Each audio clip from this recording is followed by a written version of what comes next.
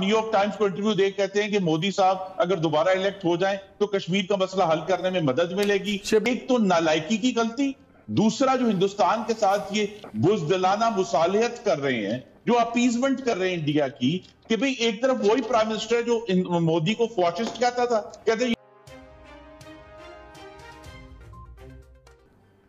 होश ये रहा है कि मेला नालायकिया में ये सब नालायक लोग नाच रहे हैं। और पाकिस्तान के अवाम जिनके गले कट गए हैं, अशियाई खुर्दोनोश की महँगाई से उनका मज़ाक उड़ा रहे हैं। ये अजीब बात है कि प्राइम मिनिस्टर जो हैं, उनके अपने दस्खत से फ़ाइल पर दस्खत हुआ होगा। तभी लिखा गया कि prime minister has seen and authorise this summary जो ईसीसी में गई, इन हिंदुस्तान से चीनी और कपास मंगवाने की। और अगले दिन कहते हैं, मुझे मालूम नहीं है कि ये कैसे हो गया।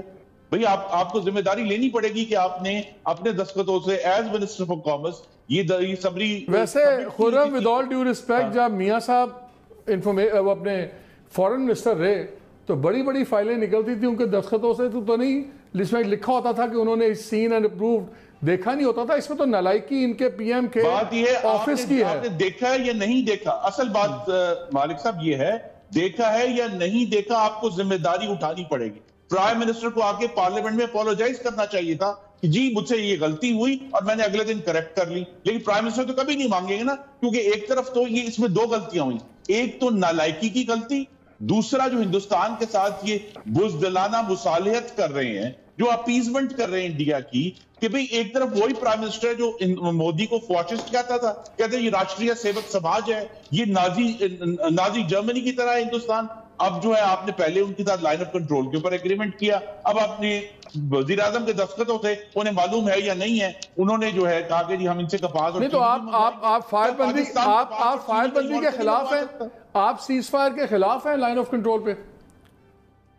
जी मैं ऐसे सीज फायर के खिलाफ हूँ जिसके यहाँ लिखा जाए कि director general military operation core issues को भी रिजॉल्व करेंगे। आपने वो स्टेटमेंट पढ़ी है हम्म। जब डीजीएमओ की? उन्होंने कहा कोर इश्यूज़ रिजॉल्व होंगे। That means tactical that means tactical होता है उसमें कुछ नहीं नहीं नहीं टैक्टिकल और टैक्टिकल स्ट्रेटेजी का फ़र्क हमें ना समझाएँ क्योंकि जब आपने आप पहले हिंदुस्तान को सिक्योरिटी काउंसिल में की जो आरजी मेंबरशिप का वोट दे देते हैं आप कुलभूषण के लिए ऑर्डिनेंस कर देते हैं। आप न्यूयॉर्क टाइम्स को इंटरव्यू देख कहते हैं कि मोदी साहब अगर दोबारा इलेक्ट हो जाएँ तो कश्मीर का मसला हल करने में मदद मिलेगी। फिर भेज दिया कश्मीर आपने। कर लेते हैं। फिर आप ट्रेड चले लेट हिम आंसर फिर मैंने गबोल साहब के पास जाना है। देखिए दो बात let me let me take the government let me take the government view point मुझे भी इजाज़त दे दें दे दे। वही प्राइम मिनिस्टर जो कहते थे ना नाजी जर्मनी है तो प्राइम मिनिस्टर इस वक्त नेविल चेंबरलैन है जिसने हिटलर को अपीज किया था और फिर उसको फिर भी जंग लड़नी पड़ी थी। तो ये जो अपीजमेंट आप हिंदुस्तान की कर रहे हैं इसके भी आपके जवाब देखें जी जहाँ तक अपीजमेंट का ताल्लुक है था तो बहुत बड़ा शिबली आप ये तो मानेंगे कि बहुत बड़ी एम्बेरसमेंट थी। मिनिस्टर इंचार्ज प्राइम मिनिस्टर देखें वो ईसीसी को भेजता है। और फ़िल्टर था आपका प्रिंसिपल सेक्रेटरी साहब का ऑफ़िस जिन्होंने नालायकी की उस ऑफ़िस ने और इसको वेट नहीं किया। जाना चाहिए देखें जा, सवाल यह कि पहले जाना चाहिए था फॉरेन ऑफ़िस के पास उनकी राय लेनी चाहिए थी सिक्योरिटीज़ की लेनी चाहिए थी और फिर अगले दिन प्राइम मिनिस्टर नाराज़ हो रहे हैं कि ये इतना बड़ा फैसला क्यों किया आईसीसी ने? सो नज़र आ रहा है गवर्नेंस नहीं है। देखें नहीं नहीं ऐसी बात नहीं है। देखें पहली बात तो ये है कि जहाँ तक के कश्मीर का ताल्लुक है तो जो हमारी हुकूमत ने जिस तरह का इंटरनेशनली कश्मीर कॉज को रिकंडल किया है उस कॉज में उसमें उसकी कोई मिसाल नहीं मिलती। है सेकेंडली आ जाते हैं समरी पे और इस उस पर जो ई की बात है। देखें होता क्या है कि इससे आप प्राइम मिनिस्टर साहब का इससे कोई ताल्लुक नहीं है नंबर वन नंबर टू ये है कि आप हमें ये क्रेडिट बजाय इसके ये क्रेडिट तो दें। कि देखें तो है और देखें देखें ईसीसी एक रिकमेंडेटरी प्लेटफॉर्म है। वो रेकमेंड करते हैं और ये अगर ऐसा ही है तो फिर एनसीसी ईसीसी e फैसले कर ले। पार्लियामेंट में लाने उसकी कैबिनेट में लाने की ज़रूरत क्या है? बेसिकली e यही है कि जो नहीं देखें एक सेकंड एक सेकंड जी देखें। बात ये होती है कि ईसीसी e में कई टेक्नोक्रेट्स बैठे होते हैं। जो कि चीज़ों को उनकी जो प्रेगमेटिज्म के लेंस के तहत आप देखें ना वो कहेंगे कि जी two plus two is four politicians cabinet जो कि मेंबर्स ऑफ़ द कैबिनेट होते हैं वो पार्लियामेंट के मेंबर होते हैं ये प्राइम मिनिस्टर और स्टाफ जो हैं प्रिंसिपल सेक्रेटरी उनको नहीं देखना चाहिए था कि डॉक्यूमेंट जा रहा है। देखिए एज कॉमर्स मिनिस्टर देखिए if you want to if you embarrassments कैसे होती हैं? ऐसी होती हैं। If you want to make a mountain out of a mole head then that's that's that's your choice but मैं ये कह रहा हूँ कि देखिए इसमें आप ये चीज़ आप ये जो चेक्स एंड बैलेंसेस का प्राइम मिनिस्टर जिस मिनिस्ट्री के इंचार्ज हैं वो ये कह रही है कि भारत से आपके पास खरीदें और ये सब चीज़ें खरीदें एट ए टाइम जब दूसरी तरफ़ आपने खुद कॉस्ट कश्मीर का कॉस्ट सबसे बड़ा उठाया हुआ है। हाँ, हाँ. आप कहते हैं मोल हिल है? नहीं मैं मोल हिल इसलिए क्या है? ओहो मैं माउंटेन की बात कर रहा हूँ ना कि आपने माउंटेन बनाने मोल क्या है? मोल ये है कि देखें एक प्रोसेस होता है डिसीज़न मेकिंग का।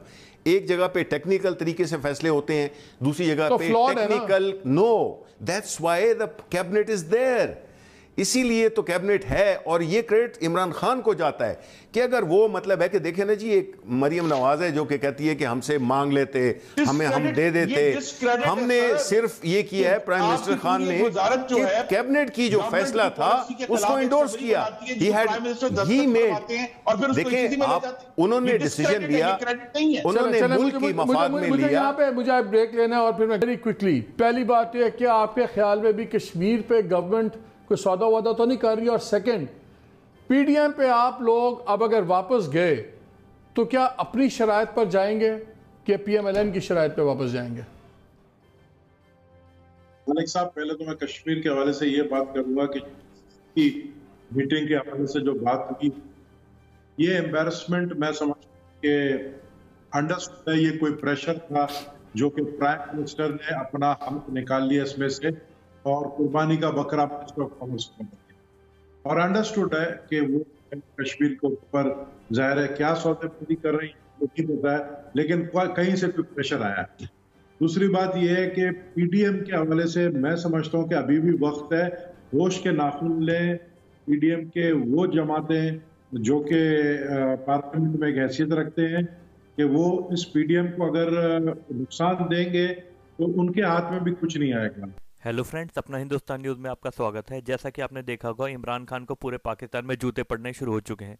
जब से उसने फैसला लिया था कि इंडिया के साथ ट्रेड करना है और वहाँ से चीनी और कपास का इंपोर्ट करना है। इससे पता चलते हैं इमरान खान की क्या हालत हो रही है उसके देश के अंदर। पहले तो जोश जोश में आके मोदी जी को खूब गाली दे दी चौबीस घंटे उन्हें हिटलर फाशिस्ट कहता रहा और अचानक यू टर्न लेके कहता है, हमें इंडिया से ट्रेड करना है।